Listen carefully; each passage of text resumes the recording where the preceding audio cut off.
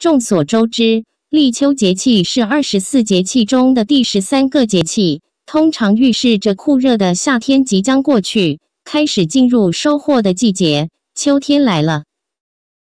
立秋之后，很多地方早晚已经有秋天的寒意，尽管中午还有秋老虎在作怪。很多地方，尤其是北方，民间有贴秋膘的习俗，很多人到了立秋。就开始胡吃海喝，进补大鱼大肉。其实进补保持适量是科学的，因为我们体内的血液呈弱碱性，大鱼大肉呈酸性。如果进食太多大鱼大肉，容易破坏血液中的酸碱平衡。酸碱平衡一旦遭到破坏，容易导致高血压、脂肪肝、痛风等病症。所以。建议大家根据自身实际情况，在贴秋膘的同时，还要补充一些碱性食物，如豆制品、菠菜、莴笋、胡萝卜、豆芽、小白菜等。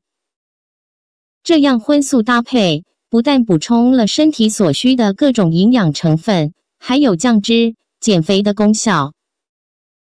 立秋之后，气温慢慢转凉，这个节气养生的重点养收。简单说，就是吃些补气润肺、有益肝脾的食物，坚持少辛增酸的原则，才能保健康。由于肺属金，秋季肺气较旺盛，少辛就是避免吃葱、姜、蒜、辣椒等辛味食品，避免肺气强了伤及肝脏。我们可以多吃些山楂、石榴、柚子、葡萄等水果。可以提升肝脏功能。今天重点为大家介绍一种脾胃之果——橄榄。立秋节气，天气干燥，可以多吃些橄榄。它具有生津止渴、利咽祛痰的功效，还能缓解咳嗽、咳血等症状。橄榄有一定的解毒功效，因为它含有鞣酸及香树脂醇这些物质，有利于体内毒素的排出。如果工作和学习压力大，经常处于紧张状态，可以试试选择橄榄，因为橄榄有一定的安神作用，加之口感好，很受年轻人的喜爱。橄榄含钙较多，果肉很有营养，小孩经常食用，对骨骼的生长发育有促进作用。挑选橄榄的时候，可能会遇到一些不良商家以次充好。如果看见橄榄外皮色泽青绿，不要购买，这些可能是经过了反水的浸泡。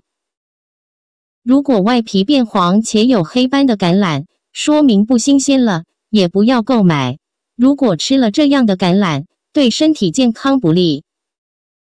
橄榄上乘的标准是外形端正，表皮呈灰绿色，无黑斑，果实肉厚。如果把橄榄和鸡鸭鱼肉一起炖煮，经常食用，有滋阴、活络筋骨的效果。橄榄虽然功效很多，味道酸酸涩涩的，一次不要食用太多。橄榄也有一些禁忌，比如孕妇、服用中药的人群不适合食用。下面给大家推荐一道橄榄杨梅汤，简单易操作，具有利咽祛痰。生津止渴的功效。材料：鲜橄榄一十颗，杨梅一十五颗。做法：一、橄榄、杨梅分别清洗干净。二、锅内倒入适量水，倒入洗净的橄榄和杨梅。三、大火烧开，小火熬成汤即可食用。